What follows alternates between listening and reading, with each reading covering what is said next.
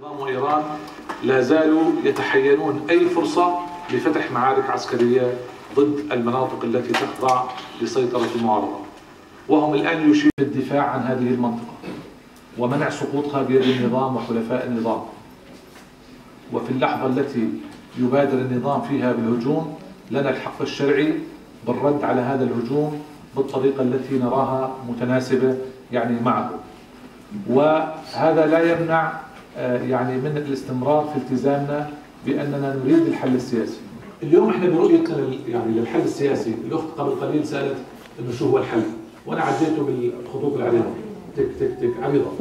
عدم إيمان المرأة نفسها إنه هي عندها دور ولازم تقوم فيه هذه يعني عند شريحة كثير كبيرة آه، الذكورية عند بعض يعني عم عم واجهها وعم نشوفها عند الكثير إنه نحن ما عندنا نساء تحكي بينما بتجي بتحكي مع النساء ونحن بدنا نحكي بس ما عم يخلونا أو ما عم يسمحوا لنا نكون ناخذ هذا الدور.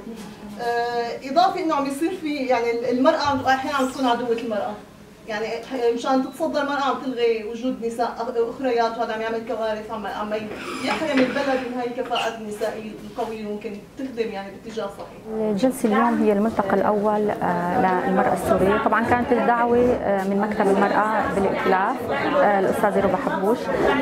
الخطوة ضرورية وأكيد إيجابية. آه، بسبب نحن بحالة ثورة وبناء آه، دولة سوريا للمستقبل فنحن بحاجة لتنسيق كل الجهود آه، تنسيق جهود المرأة ووضع رؤية لمستقبل سوريا. طبعا الملتقى راح تتبعه خطوات ثانية وملتقيات ثانية آه، لتأسيس هيئة المرأة السورية.